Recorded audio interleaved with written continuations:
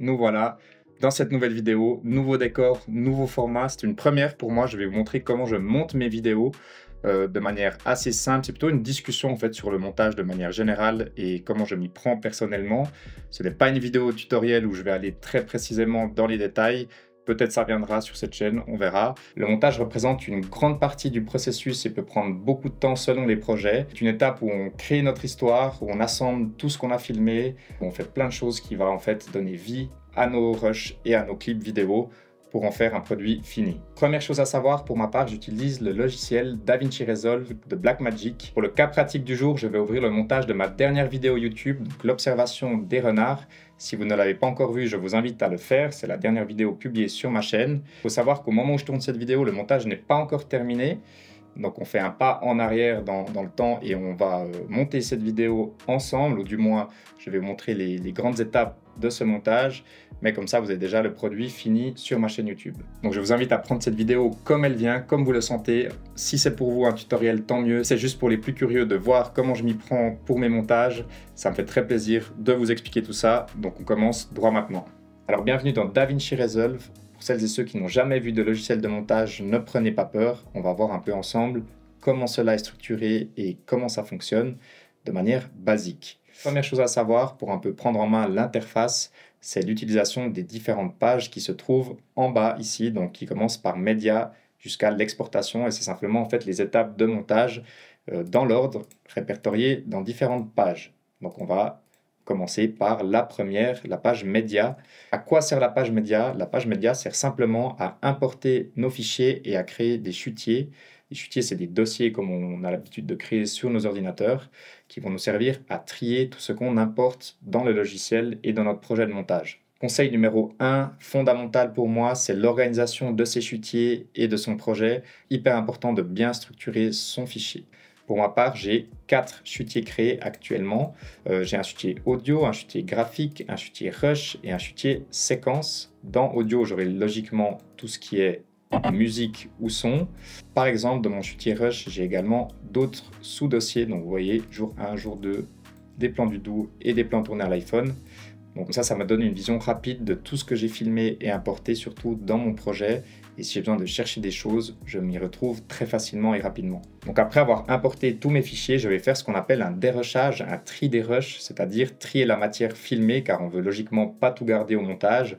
Avant de faire un dérushage, je vais créer ce qu'on appelle une séquence. Donc qu'est-ce qu'une séquence? C'est simplement un plan de travail avec un format et une résolution donc un format, on parle d'horizontal ou de vertical, ça dépend euh, quelle est l'utilité et la diffusion de notre film. Et la résolution, c'est soit du 4K, soit du HD dans les, plus, les formats les plus communs, c'est-à-dire en gros la résolution, donc la qualité de notre film et de notre plan de travail. Donc on va en faire une ensemble. Je fais clic droit, donc je suis de mon chutier séquence, timeline, créer une nouvelle timeline. Je vais lui donner un nom à cette séquence, donc euh, je vais l'appeler Derush 2 et là, je décoche juste ça pour vous montrer, par exemple, le format. Donc, comme je vous l'expliquais, je peux choisir du HD ou alors la 4K. Donc, toutes ces valeurs-là sont en pixels. Je vais mettre créer. Et vous voyez, ici, j'ai une nouvelle séquence qui s'appelle Derush 2, qui est pour l'instant complètement vide. Ici, on a ce qu'on appelle une timeline, donc euh, ligne du temps, euh, qui est en fait l'endroit où on va venir monter notre vidéo et placer les éléments les uns après les autres, donc avec une durée et puis un timecode, donc avec des secondes précises. Et on a également des pistes, donc vous voyez vidéo 1, vidéo 2, vidéo 3, c'est-à-dire que sur les pistes vidéo, on aura tout ce qui est film et vidéo, et en bas, on aura tout ce qui est audio. Ici, on va faire donc, on va commencer le dérochage, donc le tri des plans. Si je double-clique sur le premier, il s'affiche ici. Donc là, si je clique barre espace, vous voyez que ce plan se lit tout simplement l'étape suivante, c'est de placer des points d'entrée et des points de sortie pour créer des sélections au sein même d'un plan. Parce que souvent, on ne veut pas garder l'entièreté de notre plan. Donc on va placer ce qu'on appelle un in et un out, qu'on va ensuite glisser dans notre timeline. Donc vous voyez, imaginons que ce moment-là m'intéresse comme début de sélection. Donc je vais presser sur la touche I comme in. Vous voyez que ça a mis un petit point juste ici. Je vais aller à la fin, donc euh, point de sortie, je vais cliquer sur O. Et vous voyez que ça m'a fait une zone de sélection et que si maintenant je mets ma souris sur l'image, je presse et je maintiens enfoncé, Donc, je vais un peu zoomer pour vous montrer. Voilà. Vous voyez, ici, il y a ma sélection qui vient de ce plan juste en dessus. En l'occurrence, j'ai filmé en ralenti ce plan, donc il n'y a pas d'audio sur cette sélection. Donc là, en fait, l'audio ne me sert à rien. Je peux garder juste la vidéo. Vous l'aurez compris, prochaine étape, placer des in et des out sur les plans qui m'intéressent et les glisser dans ma timeline. Pour ma part, je travaille en entonnoir, c'est-à-dire que je fais une première section assez large pour pas être trop strict dès le début, ce qui me permettra de piocher dans, une matière assez grosse pour euh, mon montage final. Donc vous voyez que maintenant les plans se placent les uns après les autres dans ma timeline de la manière suivante. On va avoir euh, ma sélection finale, enfin c'est-à-dire mon dérush final. Vous voyez que j'ai séparé les éléments par bloc et je les ai pas mis tous les uns après les autres pour la simple et bonne raison que ça me permet de les séparer un peu par, euh, par thème. Par exemple, là, euh, le premier bloc, c'est uniquement des plans de, de, renard. Comme ça, je sais que si j'ai besoin de plans de renard, ils sont là. En vert, j'ai mis tous les plans un peu euh, beauty shot cinématique, ça veut dire un peu tout ce qui est ambiance, tout ce qui est forêt, tout ce qui est un peu plan d'illustration, comme on appelle ça. En vert clair, j'ai mis tous les plans où je parle. L'observation de Renardo, on est pile dans la saison où... Comme celui-ci. Parlant de couleur, on peut justement changer, on appelle ça un libellé, c'est-à-dire la couleur d'affichage d'un plan. Je fais clic droit sur un clip et je vais dans couleur du plan vous voyez que je peux changer sa couleur. Si je mets par exemple le chocolat, il apparaît maintenant en chocolat. Donc voilà pour mon dérochage et comment je m'y prends. Pour résumer, on fait des in et des out, des sélections qu'on glisse dans sa timeline. Euh, je les sépare par bloc et je change les libellés, la couleur des plans pour les retrouver facilement lors de mon montage final.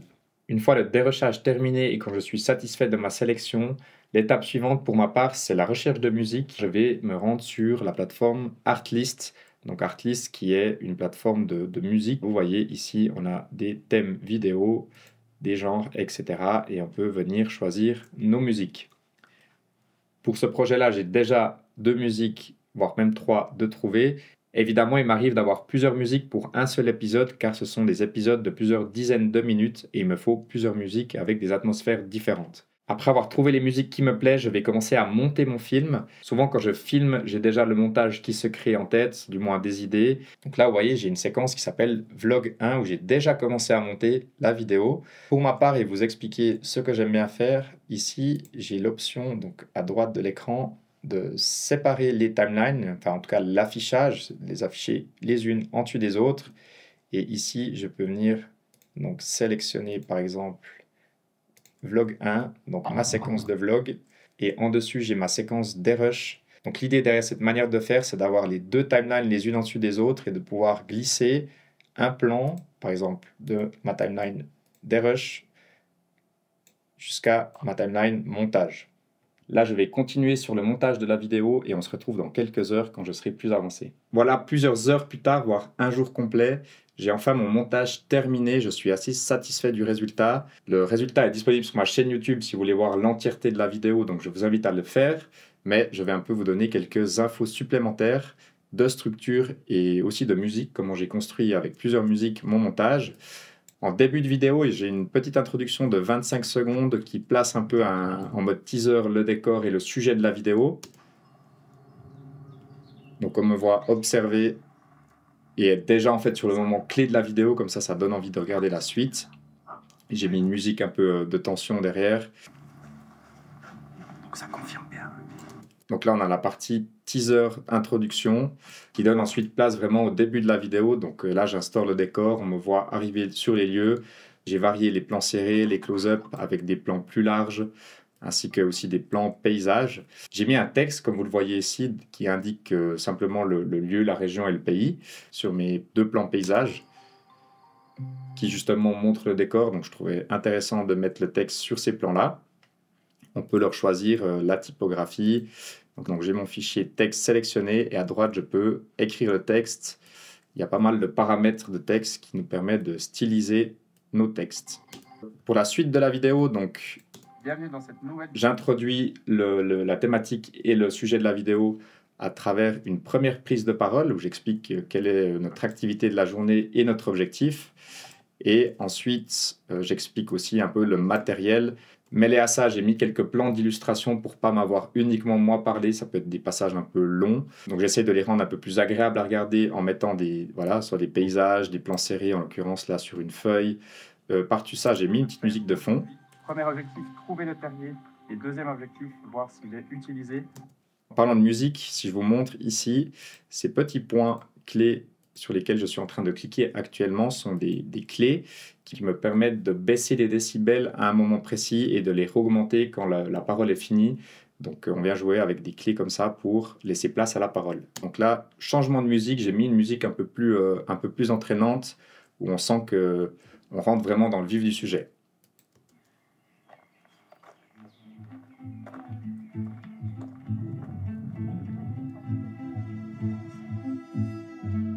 Jusqu'à qu'on arrive au moment où on trouve le terrier, donc qui est ce moment-là de la vidéo.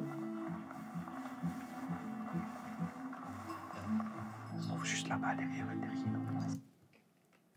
Se planquer derrière des buissons. Et le moment final de la vidéo, c'est le moment où les renards sortent. Donc euh, j'ai gardé ça pour la fin, comme ça on n'a pas euh, spoilé le, le, le, résultat et ces plans euh, clés du montage qui sont bien évidemment les plans des renards. Là, j'ai fait repartir la musique un peu plus fort pour arriver sur des plans euh, au ralenti des renards.